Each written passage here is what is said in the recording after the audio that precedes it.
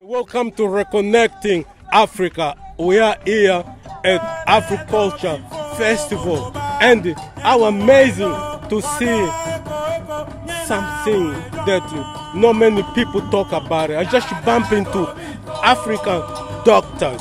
I want them to tell me wow all this about. Please introduce yourself, my brothers. Hello, uh, my name is Dr. Ron and this is uh, my colleague Dr. Cordelia. Uh, we are here representing African Health. And essentially, in a nutshell, uh, African Health is uh, a network of healthcare providers. Uh, the long story short is we realize, we know that there's evidence that if people are looked after by people who look like them, they do better. And so we've basically come up with an idea to uh, have a network of African doctors or doctors with an interest in looking after African people, nurses and allied health care providers like physiotherapists, you know, psychologists, and so on. And so we've a website, uh, we've a database where all our healthcare providers are on the database and people can go and search for a particular GP specialist or any other healthcare provider that they're interested in looking after them. Vice versa, if you're a healthcare uh, provider, you can join our organization. So it's a social enterprise organization. You can join us.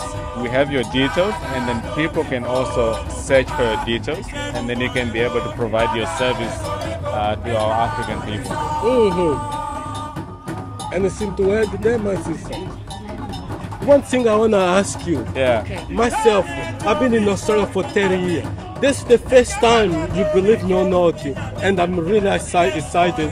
This is the first time I bump into black doctors. And that really means a lot for me and for a lot of African people, black people, because we know only black people understands our body. I mean, Yeah, no, I, absolutely, and, and I'm really happy to hear that because that's what we're about, really. We're just it's about visibility that we do exist. Often quite difficult to find healthcare professionals who maybe from a similar cultural background or look like you, and we don't. There isn't actually a directory or anything like that in Australia where you can find people that easily. So we wanted to put all that information together on a website. Um, and uh, actually, we just wanted to get the message out that you know we do exist. There are a few of us, and we've got a network. And um, yeah, we're here. You know, we're here to help. What motivated you to to become a doctor? To help the Australian community, or you thought more about your people? Well, I mean, that's a very tricky question. Um, look, I mean, I was born in Zimbabwe, and um, so I had an interest in becoming a doctor even before I came to Australia. And my mother is a nurse, so I grew up getting exposed to, um, I guess, healthcare providing. And so uh, I think I used to watch my mom going to work, and I used to go to work, and I used to see how the doctors were making a difference in people. That's really what motivated me to become a doctor. Oh, me too. Yeah, no. Um, well, I'm from England originally, and uh, there, there aren't any medics in my family, but I've always had an interest in health from an early age, and and seeing, you know, we live in a time where there's a lot of health inequalities, and I think from a young age I felt passionate to or compelled to want to want to do something about that or make a change or a difference. Um, this is why I went into medicine. I'm I'm a general practitioner up on the Central Coast, so I see a, a wide breadth of different medical presentations and. Uh, one of my key areas at the moment is preventative health, so that's something that we're trying to promote here as well. Is you know we don't personally as a general practitioner, I don't want to see, I don't want people to come to me when they're sick, really sick. Obviously, they come to me when they're sick, but we want to see people when they're well and talk about preventative health and screening uh, to prevent them from going on to getting very sick.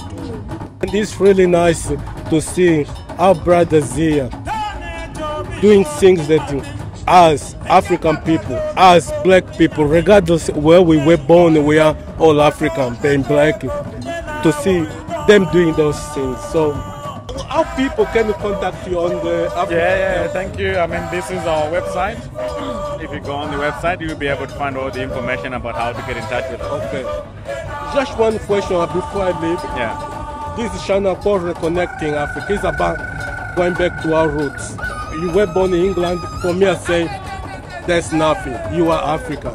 Thank you. Are you in the future thinking of doing something to Africa, to the continent?